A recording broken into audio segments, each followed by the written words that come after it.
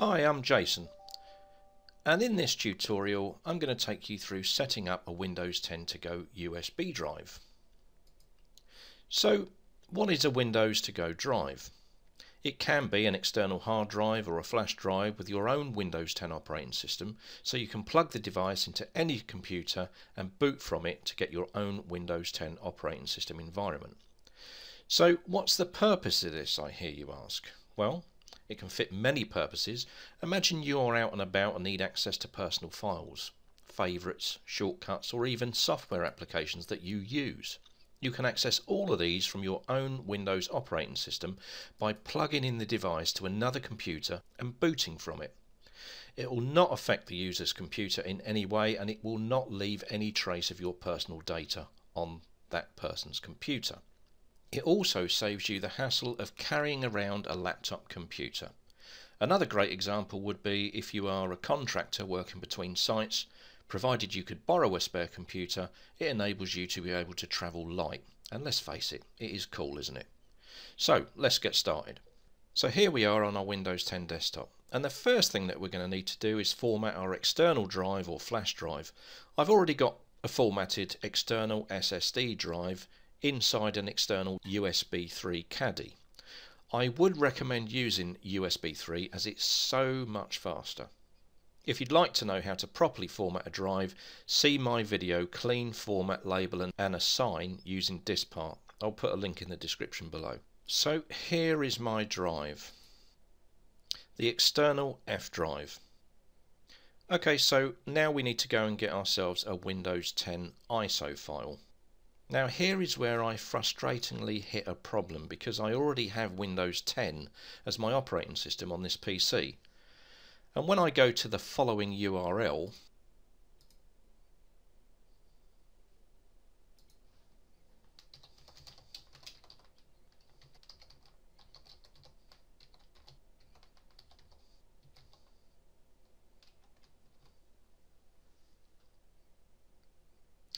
It advises me that I need Microsoft's own download tool in order to create Windows 10 installation media, which is not really what I want to do as I have not had much success in using the ISO file that it creates. It's probably Microsoft's way to try and point you to using a Windows 10 compatible Windows to go USB device. But there is a way around this. As you can see, I'm using the Chrome browser. If I right click anywhere on the page and select inspect I get to see the elements of this page. If I select the three dots up here and then select more tools and go down to network conditions we can see down the bottom of the page here the user agent is uh, set to select automatically so it's automatically going to select the operating system that we're currently running, which is Windows 10. So if I just simply untick this box, it then opens us up to be able to choose anything we want from this list. So I can now fool the browser into thinking that I have a different operating system. So let's just uh, let's keep the one that was on there, Safari, iPad, iOS 9. So now if I just press the F5 key to refresh the page, and lo and behold, I can now select the edition I want. How cool is that? Okay, so here's the thing in my recent escapades in trying to get this to work, and don't get me wrong, there are plenty of free programs out there that make this process easy, but what I found was that the latest version of Windows 10 required these free programs to all of a sudden require you to buy their professional packages in order to create the Windows to Go drives with the October 2018 version. And even though they may only cost around 30 or $40, it's money you may not want to spend. So when we drop this selection box down here, we've got the choice of the October 2018 update or we've got the April 2018. So I'm going to choose the April one and confirm that. And now I get to select the product language. So let's uh, select English and we'll confirm that. And now we can see we can select either 32-bit or 64-bit. So I'm going to go for 64-bit and in the bottom left hand corner there we can see that our ISO is now downloading and it's going to take a while so let's fast forward this section. Okay now we've got our Windows 10 ISO file let's download a small program called Rufus. So let's just go back a moment.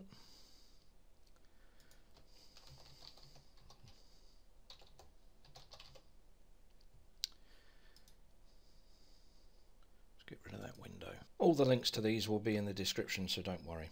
So when we're on the Rufus page, we need to scroll down to where it says Other Versions. So let's click on that. And the version that we want is version 2.2.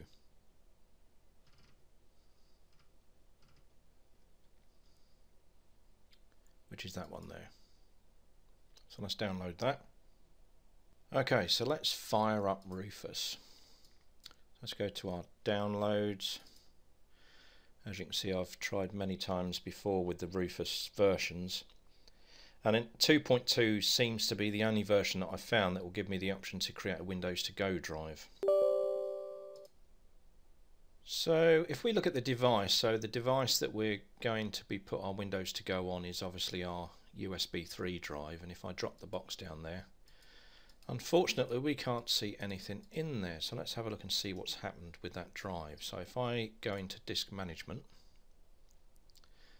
and if I scroll down we can see our external F drive. So I'm just going to right click that and I'm going to delete the volume. Oh and there you go we can now see the device. So something to bear in mind.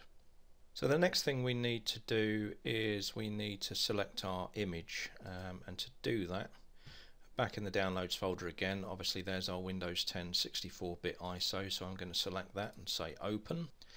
And we have the option here to create our own label if we want so I'm just going to call it uh, Win to go. And then under here we have format options. If I just click this arrow we can see we've got the option to select Windows to go so I'm going to select that. And then I can click start. All the data on the device will be erased yes okay. And then uh, it goes ahead and does its own format anyway. So again let's fast forward. Okay so our Windows to go device is now ready. So I guess the next thing to do is to plug it into a different machine and boot it and see what happens So here we can see I've got another laptop with Windows 8 already installed. Um, so I'm just connecting my USB 3 drive that I've prepared for Windows to go.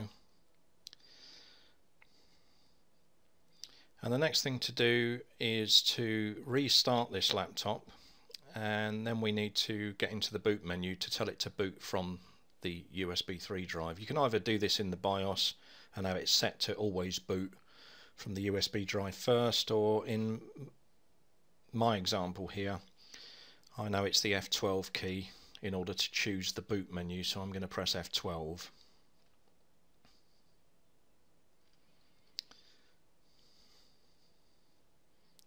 and then I'm going to select the USB drive which is the one at the top there. And then as you can see the external drive light there is flickering away And what generally happens now is it's like when you've first reinstalled Windows, it's going to go through its usual setup process just by asking you a few questions. It's only going to do this once and then after this it's then going to just boot straight into Windows which is what I'm going to demonstrate here. As you can see it can take some time to start with but no more time than it would normally take if you were to install this on a normal PC. So as you can see it's behaving normally, Cortana's up, I think I'm going to mute that. And now we can select various options such as the, the keyboard layout, language and things like that.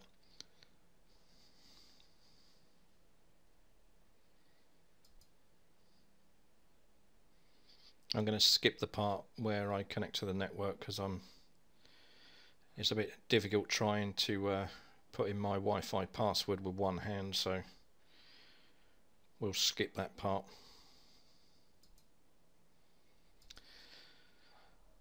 Create your account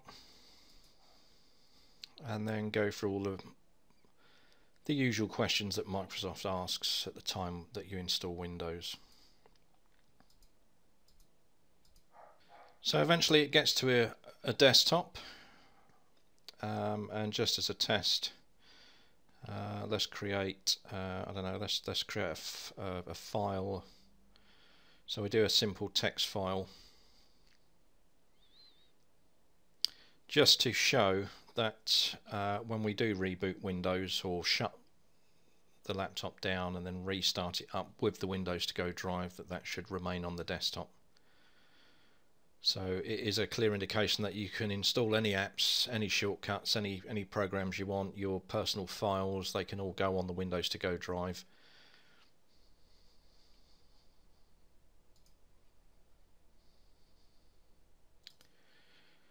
So I'll restart and the other test just to make sure just to show you that I'm, I'm going to restart but this time I'm not going to um, boot into the Windows to go drive because I just want to show you that it will go back into its normal Windows it's not going to have uh, created any issues for the previous owner of the laptop we'll keep speeding through these parts so as you can see we're back on our Windows 8 desktop so let's uh, restart again and this time we'll boot straight from the USB uh, Windows to Go drive.